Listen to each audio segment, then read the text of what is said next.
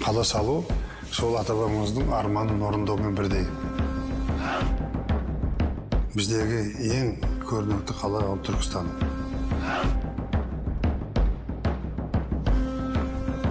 келбетін сақтап елдің жұрттың туристардың баратын ә, біздің тарихымызды паш ететін орталық ретінде қалдыруымыз керек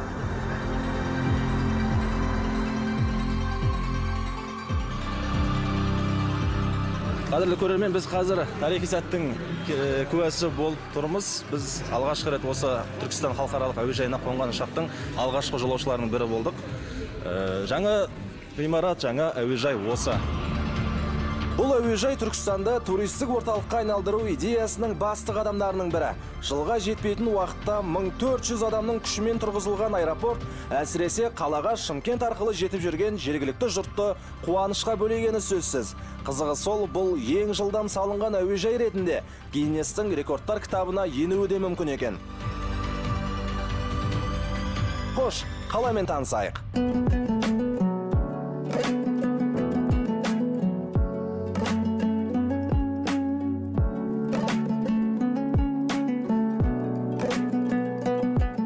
Түркістанды жақынырақ танығысы келетін адам ең алдымен қожа ахмет яссауи кесенесін бетке алатыны анық. Киелі өңірге табанымыз тез сала біз де осында келдік. Теңдессіз тарихи нысан сөз жоқ. Әлемдік сәулет өнерінің асыл жауһары екеніне тағы бір мәрте көз жеткіздік. Шіркін талай тарихты талай құпияны ішіне бүгіп жатқан кесене ғой бұл. Жалпы ғалымдар әлі күнге дейін осы ғимараттың не себепті сол замандағы өзге діни орындар секілді меккеге бағытталып салынбағанына бас қатырып әлек бүгінге дейін. Ал э, бұның тағы бір құпиясы оның іргетасында. Яғни қожа ахмет яссауи кесенесінің іргетасы мүлдем болмаған екен басында. Кейін өңделіп қайтадан қоршалып жасалған ал табылған кезде оның бір биіктігі бір жарым метр болатын саз балшықтан иленген негізі ғана болған. Сол негізбен саз балшықтан иленген жер сілкінісін де түрлі соғыстарды да басынан өткерді. Соғыс демекші қожа ахмет яссауи мавзолейі өз заманында жоңғар шапқыншылығын да қоқан хандығының басқыншылығын да тіпті патша үкіметінің зеңбіректерінің оғына да төтеп берген. Кесенені бойлай жүрсеңіз қаптаған жаңа нысандарды көзіңіз шалады. Бұл қаланың мәдени рухани аймағы. Құрылысы қыз қыз қайнап жатыр. Визит орталық туризм университеті этноауыл кітапхана қазақ драма театры саябақ әйтеуір 290 гектарлық туристік аймақта салынып жатқан ғимараттар құдды бір жерден өсіп жатқандай әсер қалдырады. Түркістанға мен соңғы рет былтыр жазда келгем сол кезде дәл осы орында кәдімгідей құрылыс коллапсы болып жатқан. Көк шаң барлығы салынып жатыр кейбіреуі жөндеуден өтіп жатыр.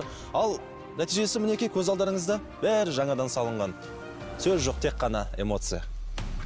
Естеріңізде болса өткен айда үкімет түркістан қаласының жаңа бас жоспарын мақұлдаған еді. Онда шаһарға облыс орталығы болғалы 400 миллиард теңге инвестиция құйылғаны 2025 жылы түркістандықтардың саны 220 мыңға жететіні қала инфрақұрылымы бүге шігесіне дейін зерттеліп бүкіл жұмыс жоспар бойынша істеліп жатқаны сөз болды.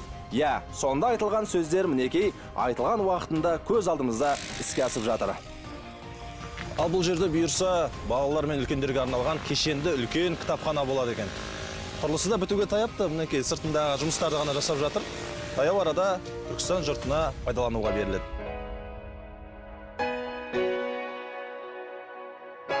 Күш көп болсын. Бар рахмет.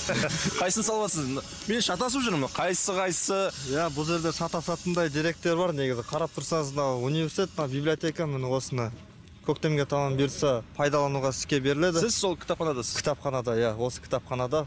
Өзім алматы қаласына командировка келіп осы жаққа еңбегімді сіңдіріп түркістан киелі жеріне осы түркістанға келіп командировкамен жаңа түркістанның қалыптасуына үлескер үлескер болып жатыр керемет иә. Тарихта қаласыздар ғой? Тарихта бұйыртса өзім иә. куәгер болып жатырмын ана жақтан бері қарай жүріп не деген бітпейтін мен де басында келіп өзім де таңғалып өзім де сөйтіп куәгер болып сонымен атсалысып киелі түркістан қожа ахмет яссауидің жерінде жүріп өстіп атсалысқанына өзім де ризамын. Енді құтты болсын. Тезірек ашылып тезірек халықтың игілігіне пайдалануға беріңдер. Күш көп болсын.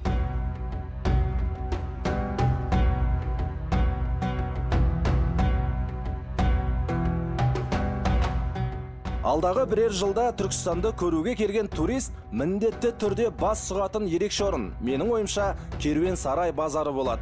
Бұған бірінші себеп көз тартатын ерекше архитектурасы. Екінші себеп мына цифрлар. Аумағы 120 мың шаршы метр. Құны 39 миллиард теңге.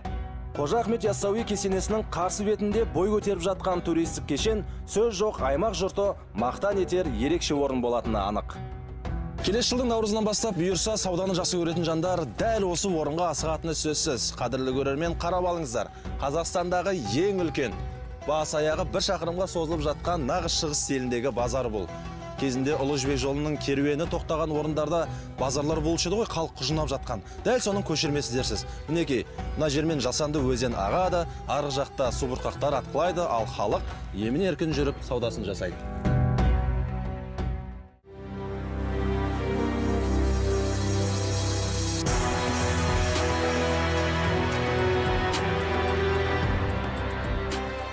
Бұл базарда не болмайды дерсіз. Қонақ үйлер кинотеатрлар мейрамханалар ұстаханалар. Не керектің бәрі бар. Тіпті венециядағыдай қайықтар жүзіп жүретін болады мұнда. Айтса адам сенгісіз. Кешен египеттік үндістандық ирандық еуропалық қытайлық және әрине түркістандық базарлардан құралмақ. Құдды бір кезіндегі ұлы жібек жолының бойында орналасқан қалалардағы сауда орындарының миксі дерсіз.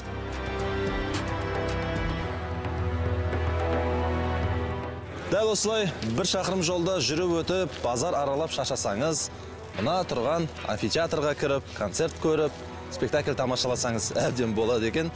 Қымбатты көрермен сіздерге қайдам бірақ мен өз басым базардың ішіндегі театрды бірінші рет көруім. Керемет